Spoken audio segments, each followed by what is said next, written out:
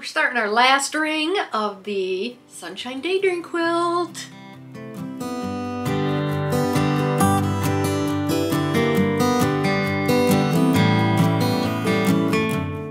Hey, this is Carrie with Canary Quilts, and this week we are working on steps 10 and 11 of the Tula Pink Sunshine Daydream quilt. And we are taking our templates, number two, three, and four, and five, I was thinking this was different, but it's just a fussy cut one. Two, three, four, five, and we're putting them together to make these sections, which we're gonna put together next week to make another ring. And once we have that ring done, we're putting the whole quilt together. We only have two more weeks. I am so excited. It was so much fun working on this because there's so many colors in this. You get to work with like every single fabric that's in it. So, and you get to get this beautiful butterfly up there at the top. So today I'm going to walk you through how I did this, how I organized myself to put these together. It doesn't tell you how to iron the seams, so I show you how to do that.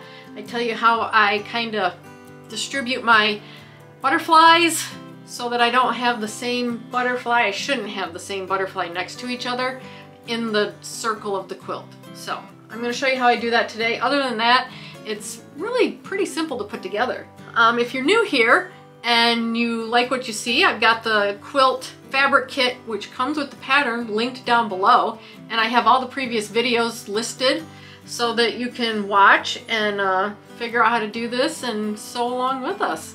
Yeah, the like I said, the fabric kit comes with the pattern, so it just doesn't come with the backing. That's the only thing. And if you saw my last unpacking video, unboxing video, you saw the backing that's going on this. But anyway, hit the subscribe button, notification bell, you get notified and you'll get to see when the next video and you get to see when we put this together and you get to see how the quilt turns out because I'm just so excited to put this together. I just, I just love these colors. But anyway, let's get started.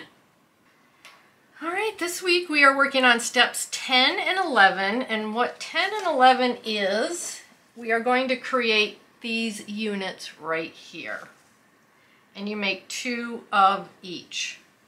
So you're going to work from gray to the butterfly.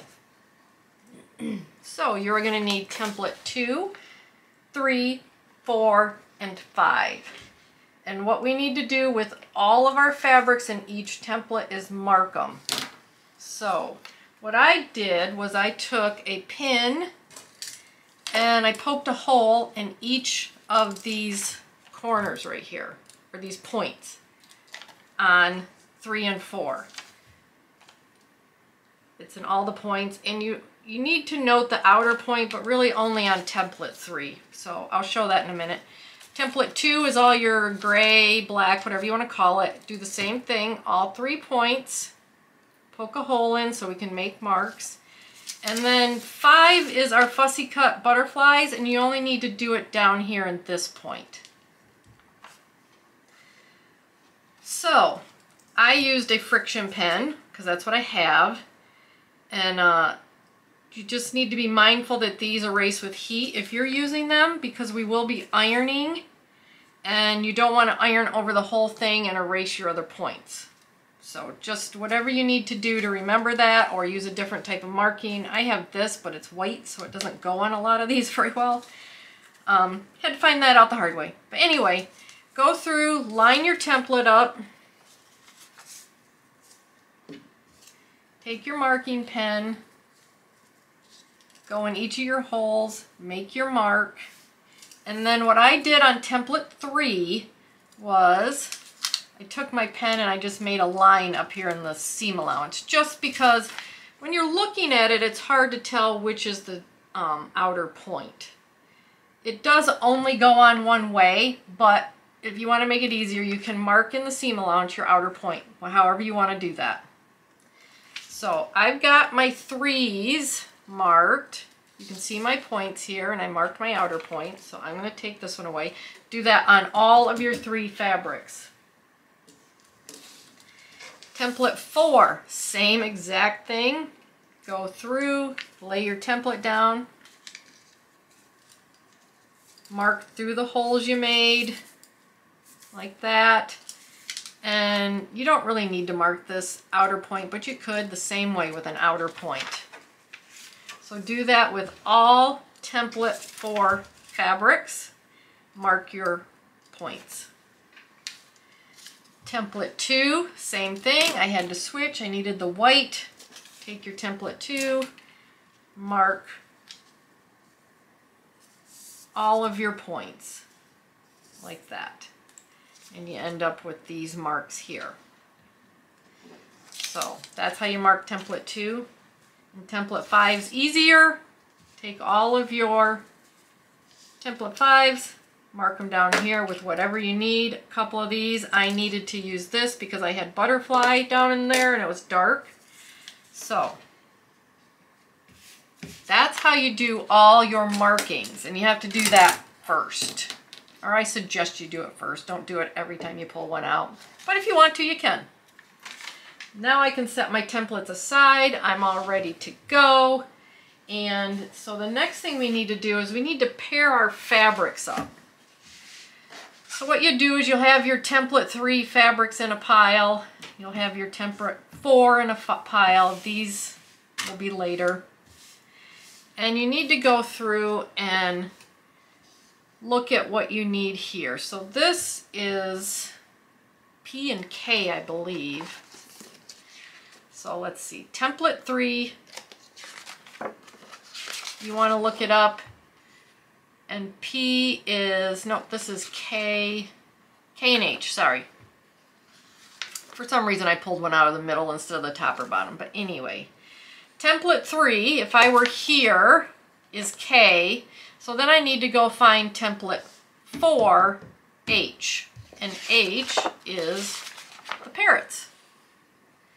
So template three, right here, template four, right here. One's the squatty fat one and the other one is the diamond. And so these are going to be paired together. And somewhere I have these. So what I did was I pinned them. These two are going to make a unit just like this right here. So these were paired together in our table. So what I did was I went through and I'm on page.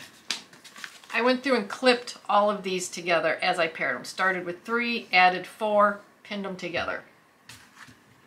So I got this nice pile here where I've got three and four pinned and then I'm going to add my butterfly to it. Now, with the butterflies, I'm sure you've got several of all these butterflies that you could cut out. I had different amounts of each butterfly. So I separated all my butterflies by the same pattern. So I had a pile of this type and I had a pile of this type and this type and this type. I think I had six different piles. And this took a little more time because I want I want my butterflies to be different when they sit next to each other on here. So what I had to do was, like this one is this right here. I picked two different butterflies. So each of these that you make is going to have a different butterfly at the top. It, this is how I'm doing it. So I have a choice when I do these. So I'm going to have one of these on this side of the quilt and one on this side of the quilt. So I have choices, which will help. And then I looked at the next one, which I don't know, it's this one right here. And I was like, well, I don't want two of these butterflies that I chose in the other one, so I picked two different butterflies to put with this set because they're going to sit next to each other. And then I looked at the other one, which is right here, and was like, okay, I want two different butterflies if I can, right here. So basically, that's kind of how I did it, but you're gonna. I just made sure I had two different butterflies with each set I made. So that I do have choices as I'm putting this together, so hopefully I don't end up with two butterflies next to each other that are the same. And that's how I came up with my sets. So, I basically have them clipped together. I have three, four, three, four, five. Because that's kind of, that's how we're going to put it together. And then we've got our two here. So now that we have our sets together, we feel comfortable with our butterflies, we can start putting these together and I worked in sets. So I'm going to pull this first set off. Let's unclip it. Let's take a two and a three. So what you want is to take your gray piece and take your template three and put it to the right and make sure your outer piece is to the top here. So the point of this one and this one are going to line up here. That's the way you don't want to do this. You want to do this. So it's going to go to the right with the outer point to the top. So now all we're going to do is line our points up here and then sew down the seam. And you can do that either by eye or what some people like to do is take a pin. Let's put these together. You can take a pin. I can see that point, put it right through that point. Put it through this one and line it up like that. Make sure your pin is straight. And then I use clips, so I'm going to clip it. And this one, what I found in the other one does pretty much line up, so.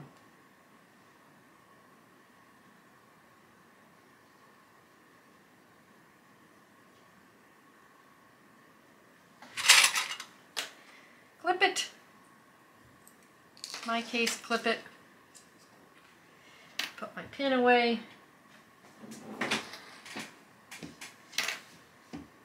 And I'm going to grab another clip. So I am ready to put these together. And you can do two at a time since we're working on both of these. I'm going to put this over there, ready to go. Outer points up here and match those. And you can eyeball them.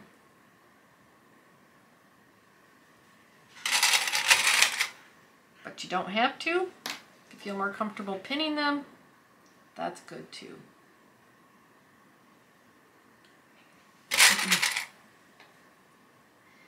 And we'll get these sewn. Okay, before we get started sewing, because we're going to have to come back and press, I want to make a note about pressing.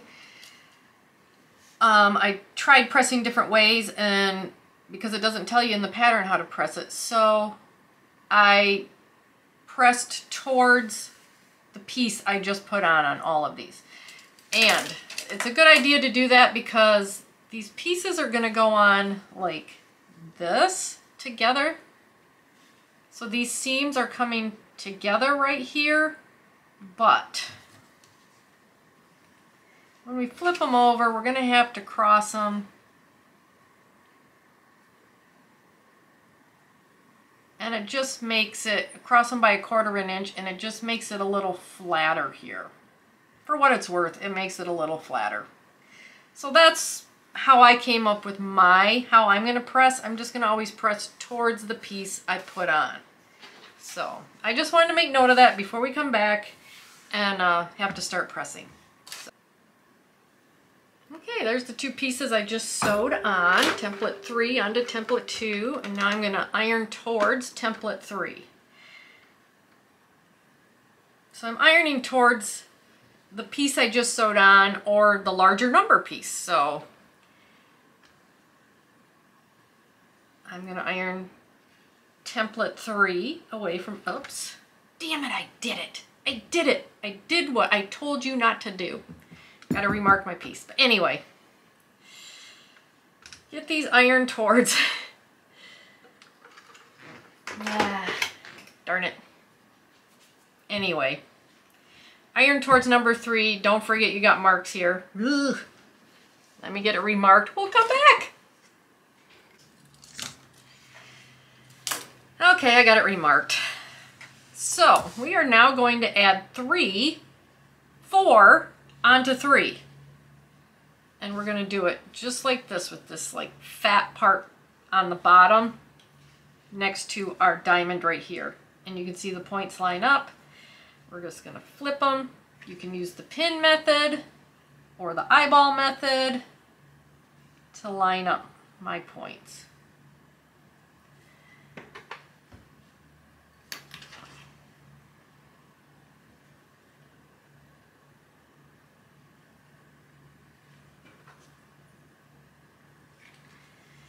And we will get these sewn on. Okay, I think I forgot to mention, you're just always going to add to the right upper section here. So we're just going to be building this curve out like this. So we can get these sewn, and again, we're going to iron towards the larger number template or towards the piece we just added on, however you want to remember it. Again, we're going to iron towards the piece we just put on. Do not iron your marks off like I did. I'm making the mistakes for you.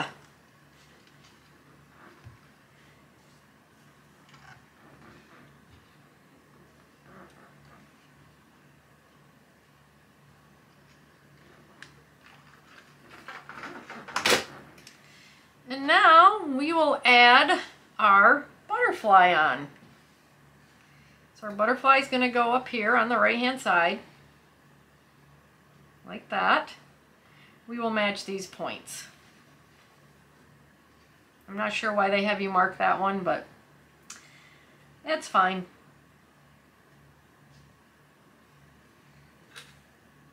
The reason they have you mark points is because there is going to be tails, and you don't want to have to figure those tails out.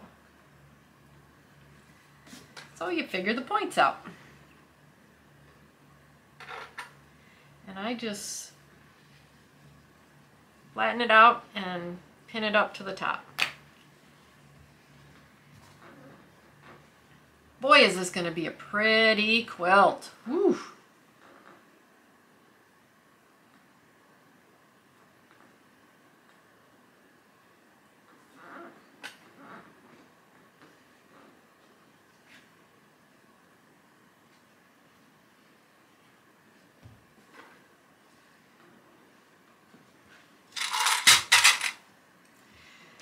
We'll get this sewn on. Come back, we'll have two more sections done. Okay, we got our butterfly section or template five on and we're gonna iron towards that template. And since we don't need the marks on this, I can iron over top of it.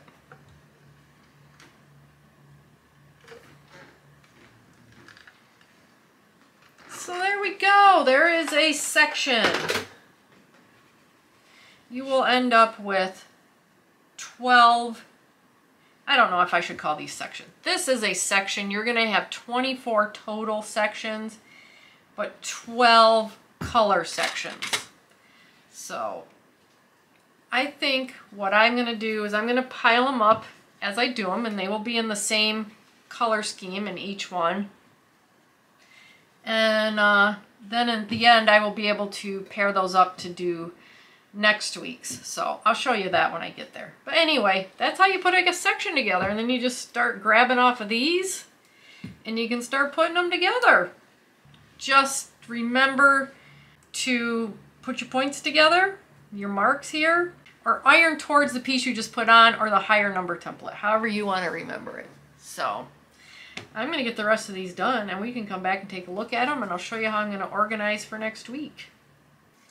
There we go. Finished up all my units here. And I've got them pinned together. And what I did once I finished them up is I went and put a little mark on here of what unit they are.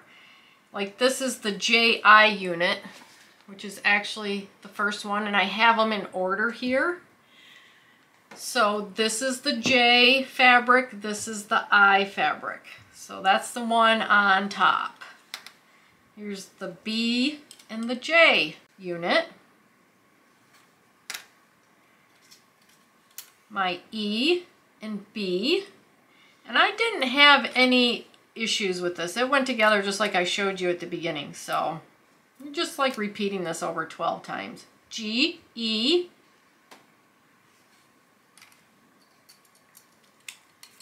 F, G, H, F, K, H. The reason I did this is because next week we need to pair these up and they're going to tell you to pair up a PK with another one. So that's why I did it like this, is so I'm ready for next week. So there's PK, DP, LD, C and L, and I and C. So there we go. We are ready for next week. So, went through, like I said, marked them, put them in this order, and then next week we'll be putting them together by these units. And so we have, we're going to have a bottom unit and a top unit. So we'll get to that next week. But yeah, it's uh, it took a little bit of time, but it's pretty simple. It's just everything, you know, it's getting everything order, organized, get ready. I feel like it took longer to mark all of these than it almost did to sew them. So hit the subscribe button, notification bell. You get notified when we do next week and we start pairing these up. And then um, I actually have it set up so that we put the pairs together and then we assemble the quilt. I might read, I might not do that. I may put the pairs together and make the ring and then we'll assemble the quilt the following week. So it took some time, but it didn't take as long as I thought it would. So yeah. Anyway, I had fun doing these sections. I love the colors. Um, I love the butterflies. So I'm really excited to put this together and we are so close now. But anyway, I had fun making this video and uh, check out the links down below. It really does help the channel out. I really appreciate it and I will see you next week. Bye.